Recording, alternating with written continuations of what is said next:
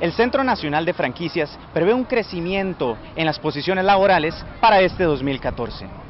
Participar en la Expo Franquicia Panamá 2014 le dará a Costa Rica la oportunidad de generar aproximadamente mil millones de colones y casi 500 empleos en las diferentes cadenas a nivel nacional para este año.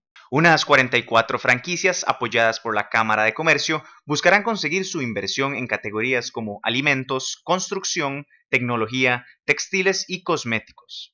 Las franquicias generan 27.000 empleos a nivel nacional, en su mayoría en el sector de alimentos. Sin embargo, la Expo propone diversificar la oferta y no saturar el mercado. Bueno, el crecimiento definitivamente de nuestra franquicia va a aportar, eh, en primer lugar, eh, una gran cantidad de, trabajo, ¿verdad? De, de, empleos.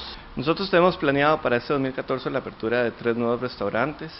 Esto llevará, eh, actualmente contamos con siete restaurantes, esto implicará que aproximadamente tendremos un incremento de un 50% de nuestra fuerza laboral. Se espera la llegada de 200 millones de colones por parte del Ministerio de Economía al Centro Nacional de Franquicias, para que consecuentemente se traduzca en inversión y empleo.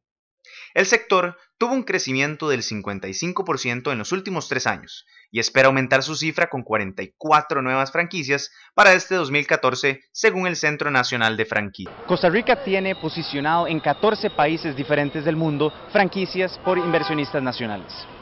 Para Noticias UIA informó Walter Herrera.